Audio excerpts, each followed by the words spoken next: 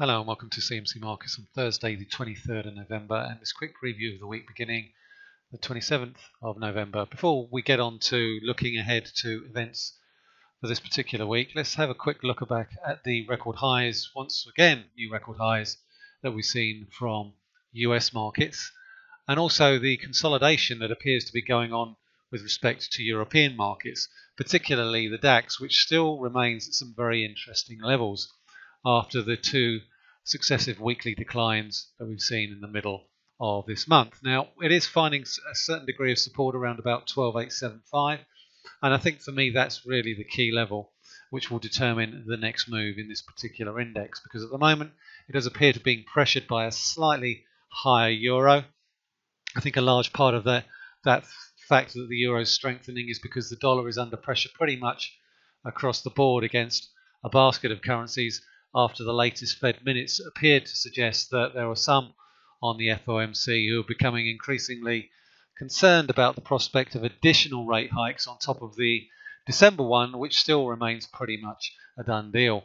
And I think the uncertainty surrounding the course of 2018 Fed rate rises, I think, revolves around the fact that ultimately we don't have any significant clarity on who's going to be on the voting committee um, in around about two or three months' time. That's simply because there are still four vacancies on the Fed board, the Fed for the Fed governors, and we don't know who's going to fill those vacancies. But also, I think the divisions that we're seeing with respect to inflation expectations could throw into doubt the anticipation that markets think that there will there will be two or three rate rises next year from the Federal Reserve. I don't think we can assume anything at this point in time, and I think that's really why the dollar is starting to come under a significant amount of pressure.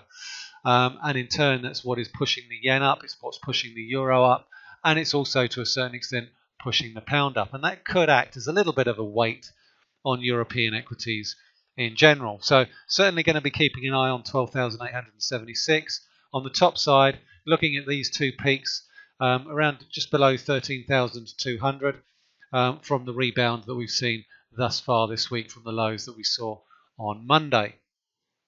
If we look at euro dollar, we can also see that that's at a very, very key inflection point. I'm particularly interested to see how it responds around about 118.80, which is the October highs. We have broken back above the neckline of this head and shoulders reversal, but we actually haven't taken out the right shoulder. And until we do so, I think there is a concern that we could start to drift back down again. There's also the fact that the oscillator is still significantly overbought but that doesn't necessarily mean that we can't go higher. A break of 119.10, and we're looking once again at the highs that we saw in September. A similar story on the pound against the dollar. Um, looking at this particular chart here, 130, 133.40 area, I think is a really key level for me on the cable. 133.40, 133.50. If we see the breakthrough there, then we're looking at really 134.5, and then potentially again the September highs as we saw in the euro dollar. So that's really, I think, the, you know, the preview in terms of the currencies. What are we going to be looking at for the key events later this week? Well, first and foremost, I think we can need, I think we need look no further than the OPEC meeting that's due later in the week on the 30th of November. There was an awful lot of anticipation this time last year as to whether or not OPEC members will be able to coalesce around production cuts. There was an awful lot of skepticism that they will be able to do so. Nonetheless, we can see from this Brent crude chart here that oil remains and has been in a significant uptrend since the lows that we saw in June. And at the moment, I think even if OPEC does disappoint with respect to extending those production cuts beyond March 2018, you know, the support still remains quite a long way away. We're looking, we're talking around about four or five dollars away. A word of warning, though, we are starting to approach some very significant resistance levels on the top side and we can see that based if we based on this if we change it to the weekly chart. Now on the weekly chart we can see that we've broken above the 200 week moving average on Brent crude. And that's the first time we've been anywhere near close to the 200 week moving average since the middle of 2014 so it's a significant level that we're trading at.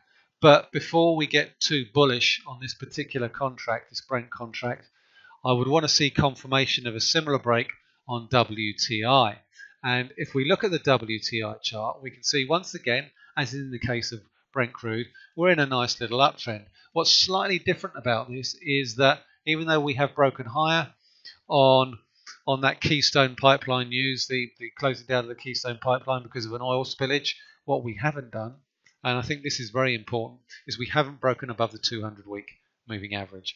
And I think what really needs to happen for us to suggest that we're going to see further gains in the oil price is we need to see a weekly close not only um, of the 200 week moving average on the Brent contract, we also need to see it on the WTI contract as well. But that only really brings us back on the WTI contract to the peaks that we saw in 2015. So even if we do break above the 200 week moving average on WTI, we've still got a significant area of resistance around about 61.80, $61.80.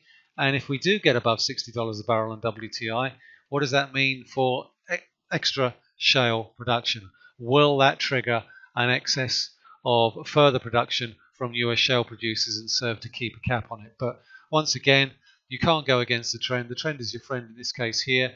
So if we do get any dips back down, then the likelihood is we're going to find a nice degree of support around about 54 and a half, 55 dollars a barrel in crude oil prices. Also, another thing to keep an eye out for later this week is UK bank stress tests, and that's going to really shift the focus to Barclays Bank share price, the Lloyds Bank share price, the RBS share price. Now we can see with Barclays, we have seen a significant rebound from the November lows, but I think in terms of looking at these stress tests, I think it's quite likely that they're going to be much more onerous. There's going to be a much more, much greater focus on certain banks' exposure to consumer credit. So that's really going to show up potentially in Lloyd's Bank's um, stress test results. Will they pass them? Because ultimately, with the purchase of MBNA, Lloyd's is very, very exposed to the UK consumer credit market, as is Barclays through its its Barclaycard operation. So I think Barclays share price. Have a quick look at um, the share price here, and we can see that at the moment we haven't closed this gap that we saw once we broke down from October here. So I think any upside in Barclays share price is likely to be tempered around about 195, 196. It is starting to look a little bit overbought. Doesn't mean that it can't go any higher, but certainly in the context of these lows here and these highs here, Barclays is probably punching towards the upper end of its recent range. If we look at, say, for example, RBS, that's been the significant outperformer this year, um, but it does appear to be starting to show signs of being a little bit tired on the on the top side. Now, if we also look at the key support level on RBS, the likelihood is that we could see RBS fail the stress test when it comes out on Tuesday. It failed the stress test last year as well, so it won't be the end of the world, but certainly I don't think it's going to send a significant um, signal of confidence overall, despite the fact that we have been trading uh, nearly pretty much two to three year highs when it comes to RBS, that would appear to suggest that it is at risk of a little bit of a correction back down to around about 260. We also look at the Lloyd's Banking Group share price as well. Again, that's one of been it's been one of those particular um, share prices. It's not really done an awful lot since the Brexit referendum. We can look at all this this daily chart here, and we can see that the highs in May it's come back an awful long way. But again, it's pretty uninteresting when it comes to the overall scheme of things. So, looking at Barclays, looking at Lloyd's, and looking at RBS to look for any significant share price movement there. We've also got third quarter US GDP. The interim numbers there showed that the US economy grew 3% in the third quarter, despite the impact of Hurricane Harvey and Hurricane Irma. We should start to get a little bit more data from that period, so there is a risk we could see a little bit of a downward revision to that. We're also going to see additional PMI data from China, Japan, Europe, and the US. Now, the German and French PMIs that we saw this week were very, very good. I would expect that to be continue to be confirmed as very, very strong numbers. But ultimately, manufacturing sector does appear to be um, doing very, very well.